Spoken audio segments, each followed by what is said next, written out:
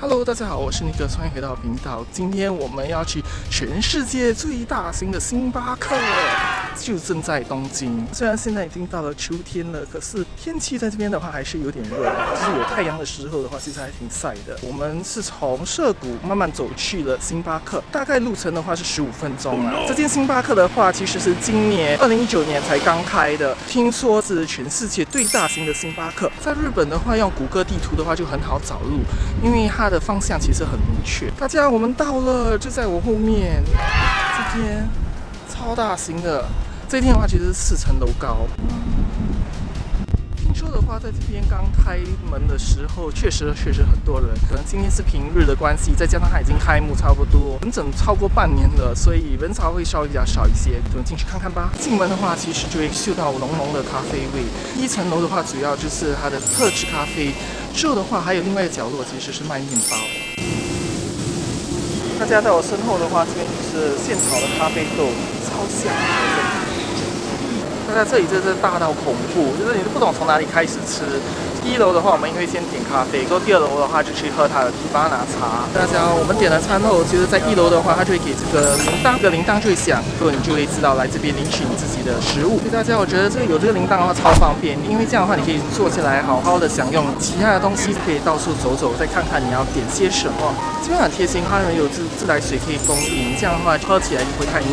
大家其实一楼的话其实是最忙的，因为它不单单有卖周边商品，它还卖饮料，就是普通的咖啡或者它的特制咖啡都是在这一层楼。它还有卖小蛋糕，另外一个柜台可以点用的就是它的面包。面包的话就拿另外一个号码牌，所以等待时间是不同的。大家第二层楼的话，其实就是提巴纳，就在这边，就是星巴克自己制作的一个茶的品牌。之前我在新加坡的话，也喝过它的抹茶的提巴纳，就我觉得它的抹茶其实还挺浓的，就是很超赞。那一侧的话，就用提巴纳做成的一些糕点，都可以在那边找得到。大家好，现在就在了二楼的观景台，看下去的话，就靠窗的座位都是在第一楼。这边的话就是卖手泡咖啡，楼下还有卖一些糕点等。下楼的话就是一个 bar，其实这个星巴克是有卖酒精的。三楼的话，这边还可以坐在外侧，好多好多的椅子可以坐在这边。我的朋友不懂跑去哪里了，所以现在的话，我们来到了第三楼的话，就是它的那个吧台。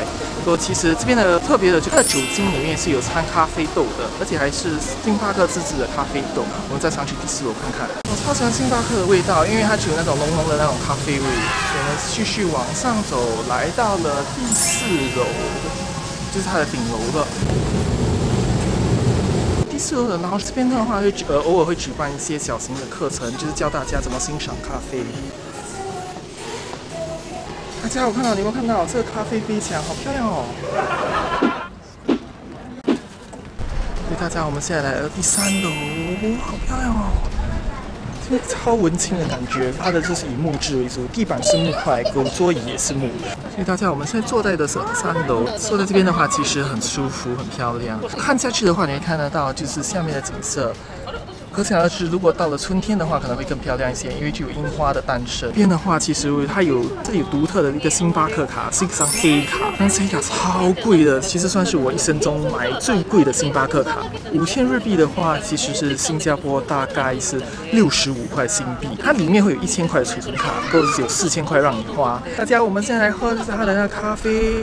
这个咖啡的话，其实是这边限定的一个口味，它叫做奶油拿铁。好香哦，还有那个奶油的味道，哇，简直有点像去到那个哈利波特世界喝的那个奶油啤酒。嗯，好好喝，奶油的味道，甜甜的焦糖的味道。因为你扣子点了一个 ice 拿铁，就觉得有点普通。我来这边的话，要体验一下这边独有的一个口味。好喝哎，有点像 butterbeer。大家，我们先来 try 的就是第一楼的那个蛋糕。它蛋糕的话有提拉米苏口味，还有一些就是柠檬口味的。我就点了这个，这个是 raspberry 酱，看起来有点像草莓。嗯。好好吃哦，它的味道不会很腻，吃进口里的话又有那种黏腻黏腻的感觉。好，我们现在吃一点咸食，它也是在一楼，就是贩卖面包的那个柜台那边，里面加了一很多芝士火腿，还有一些蔬菜。影片就到了一个段落喽，喜欢这个影片就在下面按赞、订阅、留言、分享，或者是追踪我的 Facebook 和 Instagram 查看我的最新动态。好，下次见，拜拜。